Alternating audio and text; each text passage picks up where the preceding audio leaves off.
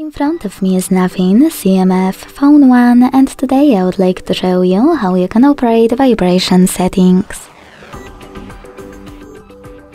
Begin by launching settings and scrolling down to access sound and vibration.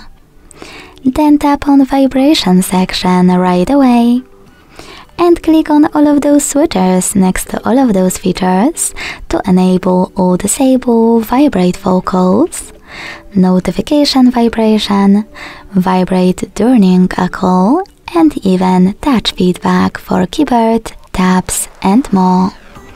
If you decided to enable touch feedback, you can also adjust intensity of it thanks to this slider.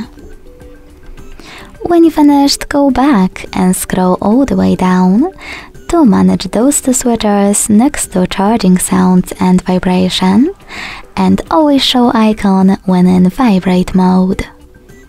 Thanks so much for watching. If you enjoyed this video, leave a like, comment and subscribe. Bye!